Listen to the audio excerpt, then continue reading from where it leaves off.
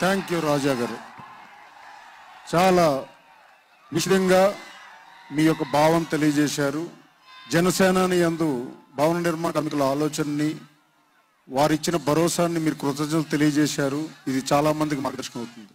ఇప్పుడు నాదెండ్ల మనోహర్ గారు PSC chairman గారు వారిని మాట్లాడవలసింది కోరు వేదికను అలంకరించిన పార్టీ అధ్యక్షులు పవన్ కళ్యాణ్ గారికి తెలుగుదేశం పార్టీ తరఫున హాజరైనందుకు అచ్చెన్నాయుడు గారికి మరియు లోక్సత్తా పార్టీ నుంచి వచ్చిన బాబ్జీ గారికి మా పార్టీ నుంచి వచ్చిన శాసనసభ్యులు రాపాక వరప్రసాద్ గారికి తోటా చంద్రశేఖర్ గారికి అలాగే ఇక్కడ పార్లమెంట్ అభ్యర్థిగా పోటీ చేసిన లక్ష్మీనారాయణ గారికి ఈ కార్యక్రమం విజయవంతం కావడానికి కృషి చేసిన విశాఖపట్నం జిల్లాలో ప్రతి ఒక్క జన సైనికుడు నాయకుడు పోటీ చేసిన అభ్యర్థికి అందరికీ కూడా ముందుగా జనసేన పార్టీ నుంచి మనస్ఫూర్తిగా మిమ్మల్ని అందరినీ కూడా అభినందిస్తున్నాను.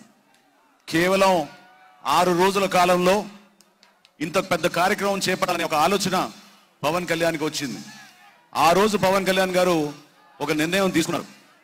కొన్ని రోజుల వరకు పార్టీ బలోపేతాని కోసం పార్టీ అంతర్గతంగా మనం కష్టపడి జిల్లాల్లో పర్యటించుకుని మనం నిర్మాణం చేసుకుందాం అన్నారు. కానీ ఈ ప్రభుత్వం తప్పుడు విధానాల వలన ఈ ప్రభుత్వం చేపట్టిన అనేకతన అనేకమైన ప్రజల్ని ఇబ్బంది పట్టే విషయాల్లో చలించిపోయి ఏ ప్రాంతానికి వెళ్ళినా కూడా ఆయనకి ప్రజలు వచ్చి రిప్రజెంటేషన్ ఇచ్చుకున్నప్పుడు తప్పకుండా వాళ్ళకి సహాయం అందించాలని నిర్ణయం తీసుకుని మరొకసారి ఈరోజు జనసేన పార్టీ జనసైనికులు పేరు పేరున అందరూ కూడా కలిసి వచ్చి ఈ కార్యక్రమాన్ని విజయవంతం చేశారు. మిమ్మల్ని అందరినీ కూడా నేను అభినందిస్తున్నాను. అయితే చాలా మంది అపోహాలు సృష్టిస్తూ ఉన్నారు. మీకు జరిగిన వాస్తవాలు కొన్ని చెప్పాలి. ఆ రోజు మంగళగిరిలో జరిగిన సమావేశంలో ఒక నెల క్రితం తెలంగాణలో యురేనియం తవ్వకాలపైన వ్యతిరేకించి నల్లమల్ల అడవుల్ని కాపాడాలని నిర్ణయం తీసుకున్నప్పుడు అఖిలపక్ష సమావేశం ఏర్పాటు చేశాం. అందులో ప్రతి పార్టీని ఆహ్వానించాం ఆ రోజున. కమ్యూనిస్ట్ పార్టీలు వచ్చారు. బీజేపీ వాళ్ళని ఆహ్వానించాం. తెలుగుదేశం ఆహ్వానించాం. సిపిఐ సిపిఐ నుంచి హాజరయ్యారు ఆ రోజున. లోక్సత్తా వారు కూడా వచ్చారు. అక్కడ స్థానికంగా ఉన్న ప్రతి ఒక్క నాయకుడు ఎన్జిఓ సంస్థల నుంచి వచ్చిన పెద్దలు శాస్త్రవేత్తలు అందరూ కూడా హాజరై చాలా చక్కటి కార్యక్రమం చేశారు. ప్రజా సమస్య పైన మీరు పోరాడితే మీ అందరం మీతో కలిసి ఉంటా ఉన్నారు అది చూశారు కాబట్టి భవన నిర్మాణ కార్మికులు పవన్ కళ్యాణ్ గారిని రిక్వెస్ట్ చేశారు. అయ్యా ఆర్టీసీ స్ట్రైక్ జరుగుతున్నప్పుడు కేవలం నలభై ఎనిమిది వేల మందిని తీసేస్తే రాష్ట్ర వ్యాప్తంగా అన్ని పార్టీలు కలిసి పోరాడుతున్నాయి తెలంగాణలో. ఆంధ్రప్రదేశ్లో ఎందుకు ఇటువంటి స్టాండ్ తీసుకోలేదు? ఎందుకు మా వెంట మిగతా పార్టీలు కూడా రావడం లేదని వాళ్ళు ఆయన్ని అడిగారు.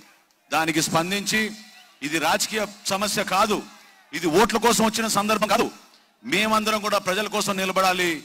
జనసేన పార్టీ అంటేనే ప్రజల తరఫున పోరాడుతుంది. ప్రజల కోసం నిలబడే పార్టీ జనసేన పార్టీ అని ఆయన గొప్ప నిర్ణయం తీసుకుని అన్ని పార్టీ అధినేతలకు ఆయన ఫోన్ చేశారు. మొట్టమొదటి ఫోన్ మేము చేసింది బీజేపీ ప్రెసిడెంట్ కన్నా లక్ష్మణ్ గారికి. ఆయన తక్షణమే స్పందించారు. తప్పకుండా మీకు సంఘీభావం తెలుపుతా ఉన్నారు.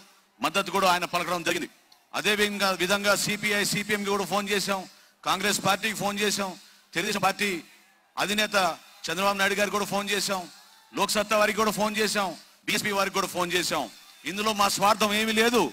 అందరినీ కలుపుకొని రాష్ట్ర వ్యాప్తంగా ప్రజలు నలిగిపోతుంటే ఇన్ని వేల లక్షల కుటుంబాలు నష్టపోతుంటే అందరం మన రాజకీయాన్ని పక్కన పెట్టి మన ఐడియాలజీని పక్కన పెట్టి ప్రజల పక్షాన నిలబడాలనే ఒక నిర్ణయం తీసుకుని ఈ రోజు ఈ సమావేశాన్ని ఏర్పాటు చేశాం.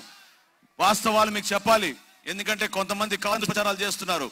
దేనికైనా వెనకాడాల్సిన అవసరం లేదు. ఎవరిలోనూ ఇటువంటి భయం లేదు. జాగ్రత్త మాత్రం మేము ఖచ్చితంగా పడతాం. దయచేసి మీరందరూ కూడా ఈ కారణాలు ఏంటో ఎందుకోసం ఇంత చేయాల్సి వచ్చింది? ఎందుకోసం మన అధినేత అంత కష్టపడి ఈ రోజున వేరే కార్యక్రమాలు ఉన్నా కూడా ప్రత్యేకంగా విశాఖపట్నానికి వచ్చి ఈ కార్యక్రమాన్ని విజయవంతం చేయడానికి ఆయన చేసిన కృషిని మనందరం కూడా గుర్తుపెట్టుకుని అభినందించాలి. చాలా మంది గత ఆరు రోజుల నుంచి విశాఖపట్నంలో పేరు పేరున రాత్రింబౌలు కష్టపడి ఒక్కొక్క సందర్భంలో కొన్ని చిన్న చిన్న అడ్డంకులు సృష్టించిన చివరి డిపార్ట్మెంట్ వారు కూడా వాళ్ళు గుర్తించి మనం దేనికోసం అయితే పోరాడుతున్నామో స్వచ్ఛందంగా న్యాయబద్ధంగా క్రమశిక్షణగా మన పార్టీయే ప్రజల కోసం ప్రజల పక్షాన్ని నిలబడుతుందని వాళ్ళు కూడా నమ్మి మనకి సహకరించారు. వాళ్ళ కూడా ఈ సందర్భంగా నేను ధన్యవాదాలు తెలుపుతున్నాను. దయచేసి భవిష్యత్తులో కూడా ఇదే మన కార్యాచరణ ఇదే మన ప్రోగ్రాము ఇదే మన స్ట్రక్చర్. ఎక్కడ పోయినా సరే ప్రజల పక్షాన్ని నిలబడాలి. ప్రజా సంక్షేమం కోసం మనం కృషి చేయాలి. ఈ ప్రభుత్వం తీసుకున్న చెప్- ఈ ప్రభుత్వం తీసుకున్న తప్పుడు నిర్ణయం వలన ఎన్ని లక్షల కుటుంబాలు ఈరోజు నష్టపోయారు మీ తెలుసు. చాలా మంది ఇసుక విధానం గురించి మాట్లాడారు. దాని జోలికి నేను వెళ్ళడం లేదు కానీ పార్టీలో ఉన్న ఒక నాయకుడిగా నేను మీ అందరికీ కూడా పేరు పేరున ప్రత్యేకంగా ధన్యవాదాలు తెలుపుతున్నాను. ఈ కార్యక్రమం విజయవంతం చేసినందుకు చాలా మంది వెనుకొండి కృషి చేశారు. వాళ్ళందరినీ కూడా నేను ప్రత్యేకంగా నా అధ్యక్షులు వారి తరఫున వారికి ధన్యవాదాలు తెలుపుతూ వేదికను అలంకరించిన పెద్దలందరికీ మరొకసారి నేను ధన్యవాదాలు ఇప్పుడు మన పార్టీ అధ్యక్షులు పవన్ కళ్యాణ్ గారిని మాట్లాడమని ఆహ్వానిస్తున్నాను.